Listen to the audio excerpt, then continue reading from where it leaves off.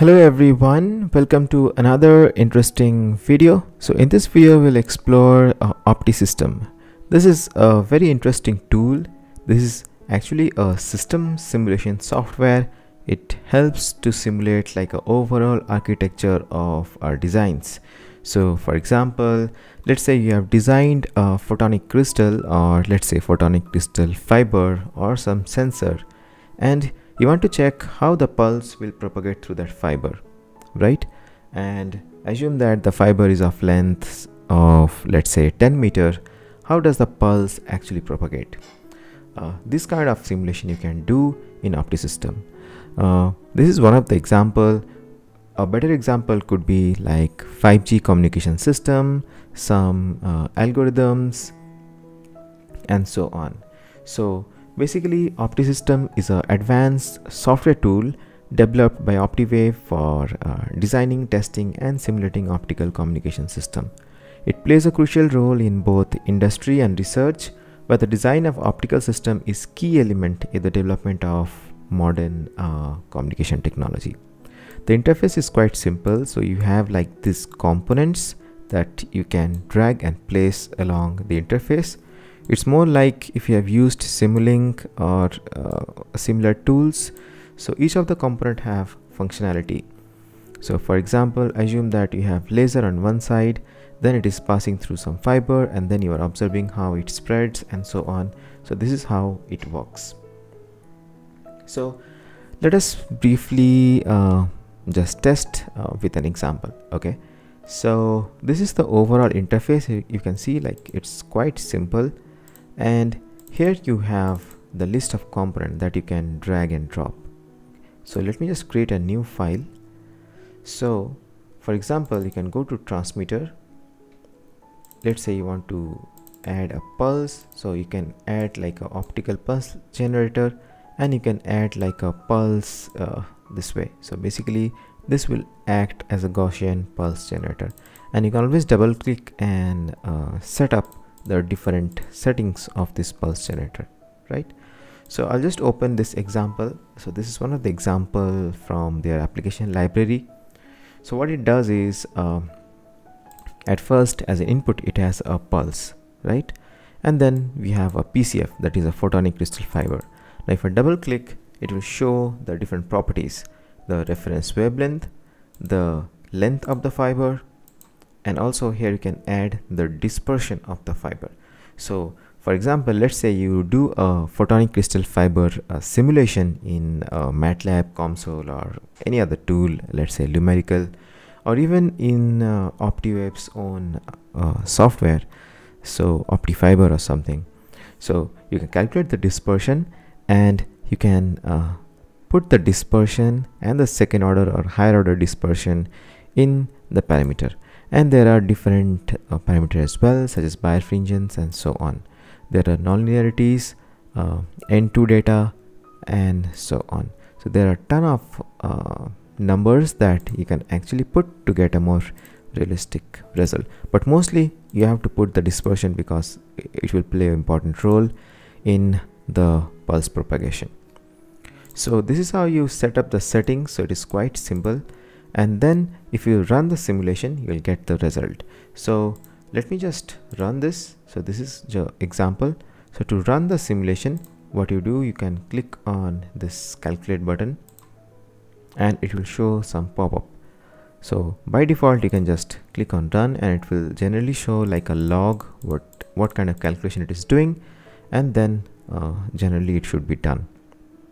So you just click on this cross.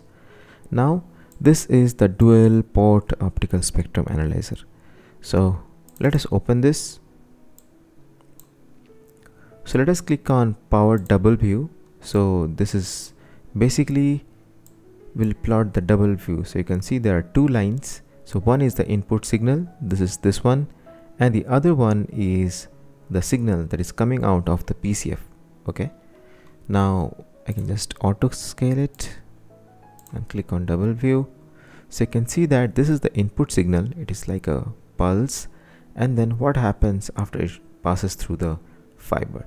So you can also do this by adding components. So I'll show you for example if I go to the uh, visualizer where is it? Yeah.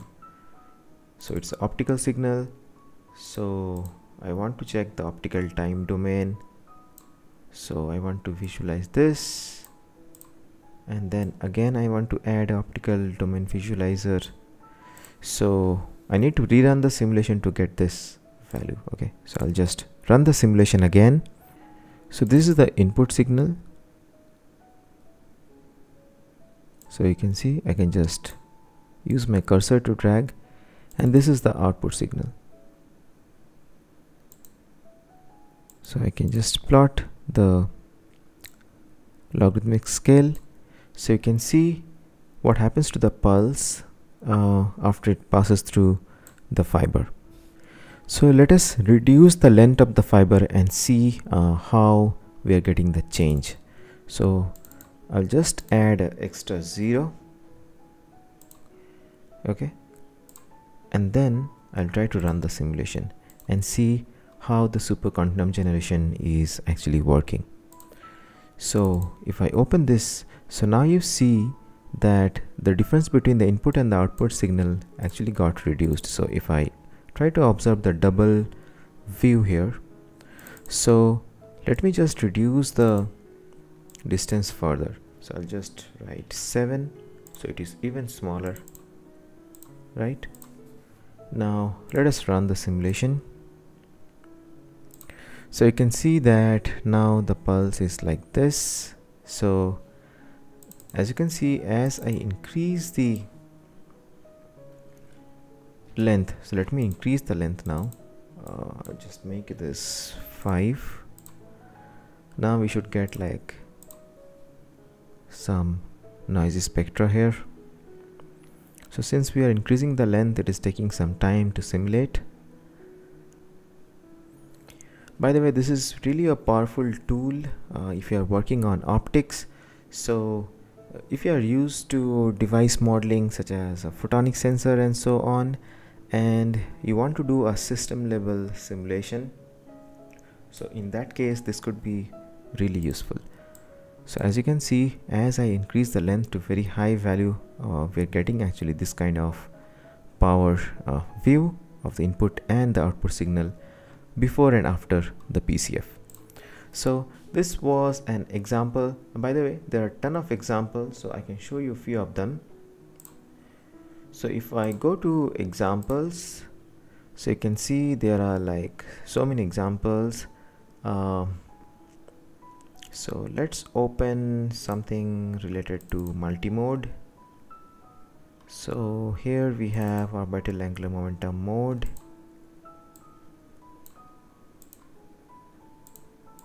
let's uh, let's try with this.